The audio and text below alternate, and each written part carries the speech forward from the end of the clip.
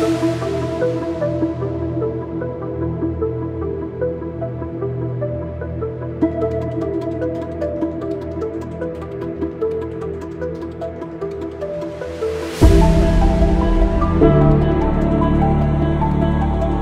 రంజీ మ్యాచ్లు ఆడాలంటూ చేసిన సూచనలను బేఖాతరు చేసిన ఇషాన్ కిషన్ శ్రేయస్ అయ్యర్కు బీసీసీఐ గట్టి షాక్ ఇచ్చింది. ముప్పై మంది ఆటగాళ్ళతో బుధవారం విడుదల చేసిన సెంట్రల్ కాంట్రాక్ట్ల జాబితా నుంచి వీరిద్దరిని తప్పించింది.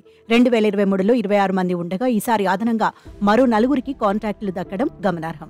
మానసిక సమస్యలతో దక్షిణాఫ్రికా టూర్ మధ్యలో జట్టు నుంచి బయటకు వచ్చిన కిషన్ జార్ఖండ్ తరపున రంజీలు ఆడకుండా ఐపీఎల్ కోసం సన్నద్దమవుతుండడం బోర్డు పెద్దలకు ఆగ్రహం తెప్పించింది. అలాగే శ్రేయస్ అయ్యర్ కూడా బోర్డు ఆదేశాలని పట్టించుకోలేదు. చేతులు కాలేక అన్నట్టు ఇప్పుడు ముంబై తరపున సెమీస్ ఆడటానికి సిద్ధమయ్యాడు. గతేడాది అయ్యర్ ఇషాన్ సి గ్రేడ్ కాంట్రాక్టుల్లో ఉన్నారు.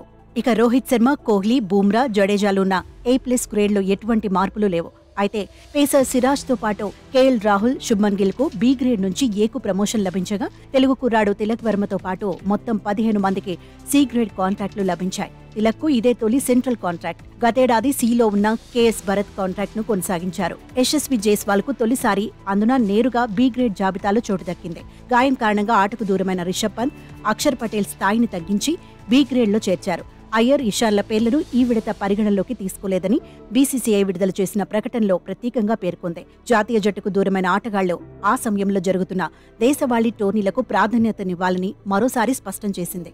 నిర్దేశించిన కాలపరిమితిలో మూడు టెస్టులు లేదా ఎనిమిది వన్డేలు లేదా పది టీ ట్వంటీలు ఆడిన ఆటగాళ్ళకు కాంట్రాక్టులు దక్కాయని బోర్డు తెలిపింది. ఇంగ్లాండ్ సిరీస్లో రెండే టెస్టులు ఆడిన ధ్రువ్ జురెల్ సర్ఫరాజ్ ఖాన్లో ధర్మశాలలో జరిగే ఆఖర్ మ్యాచ్లో కూడా ఆడితే సి గ్రేడ్ కాంట్రాక్ట్ పరిగణలోకి తీసుకుంటామని వివరించింది. చతేశ్వర పుజారా ఉమేష్ యాదవ్ శిఖర్ ధవన్ దీపక్ హుడా యజ్వేంద్ర చాహల్ కో వార్షిక కాంట్రాక్టులు దక్కలేదు. దీనిని బట్టి పుజారా అంతర్జాతీయ కెరీర్ ముగిసిందన్న సంకేతాలు ఇచ్చినట్టయింది. కానీ చాహల్ మెరుగైన ప్రదర్శన చేస్తే మళ్ళీ టీంలోకి వచ్చే అవకాశాలున్నాయి. అయితే ఈసారి ప్రత్యేకంగా ఫాస్ట్ బౌలింగ్ కాంట్రాక్ట్ కింద ఐదుగురి పేర్లను సెలక్షన్ కమిటీ సిఫార్సు చేసింది. కాగా వార్షిక వేతనాలను ఏ మేరకైనా పెంచారా అనే విషయాన్ని బోర్డు స్పష్టం చేయలేదు.